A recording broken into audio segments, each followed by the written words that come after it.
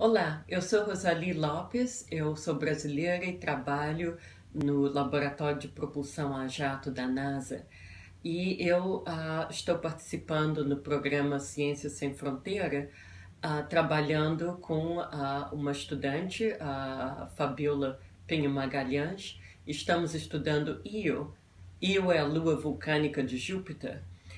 vocês podem ver as imagens aqui. Uh, essa é uma imagem da, da Lua, uh, Io.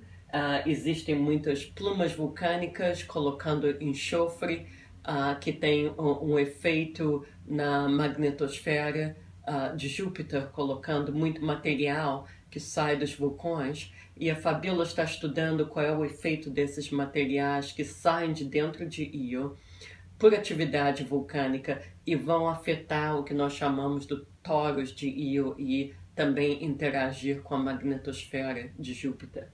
E eu queria mostrar para vocês é esse vulcão aqui porque uh, tem o nome Tupã.